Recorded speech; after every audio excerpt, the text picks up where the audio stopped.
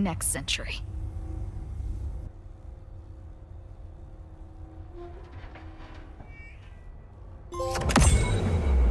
Far below us, the first factory is exploding, crumbling.